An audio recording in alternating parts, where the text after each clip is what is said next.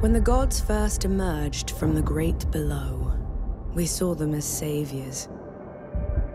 Instead, they unleashed a pestilence on our world. No one yet knows if you can kill a god. I, for one, intend to find out.